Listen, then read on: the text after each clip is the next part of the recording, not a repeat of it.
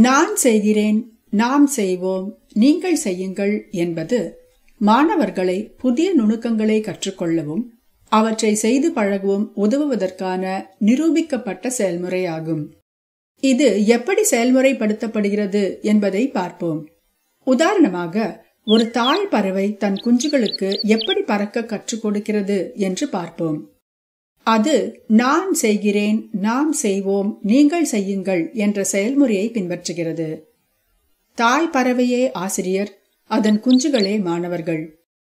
முதல் படி நான் செய்கிறேன் என்பதாகும். ஆசிரியர் தான் கற்றுக் கொடுக்கும் புதிய உத்தியையோ நுணுக்கத்தையோ செய்து காட்டி மாணவர்களுக்கு செயல்முறையை விளக்குகிறார். மாணவர்கள் நன்றாக புரிந்து கொள்வதை உறுதி செய்ய ஆசிரியர் அந்த உத்தியை சில முறை செய்து காட்டுகிறார். இரண்டாம் படி நாம் செய்வோம் என்பதாகும். ஆசிரியரும் மாணவர்களும் சேர்ந்து செய்து பழகுகிறார்கள். இதில்தான் நிறைய நேரம் செலவிடுகிறார்கள்.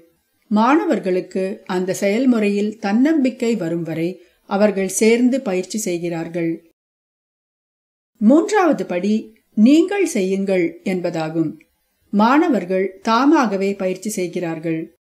இந்நிலையில் மாணவர்கள் உத்தியை சரியாக கற்றுக்கொண்டிருக்கிறார்களா என்று ஆசிரியர் கூர்ந்து கவனித்து உதவி தேவைப்பட்டால் அவர்களுக்கு வழிகாட்டுகிறார். மாணவர்கள் புதிய உத்தியை கற்கும் போதும் அதை செய்து பழகும் போதும் அவர்களுக்கு படிப்படியாக தன்னம்பிக்கையை வளர்க்க இந்த செயல்முறை மிகவும் பயனுள்ளதாகும். கற்பிக்கும் முறை என்பதை விட ஏதேனும் புதிதாக கற்றுக் கொடுக்கும் போதெல்லாம் இந்த செயல்முறையை பின்பற்றலாம்.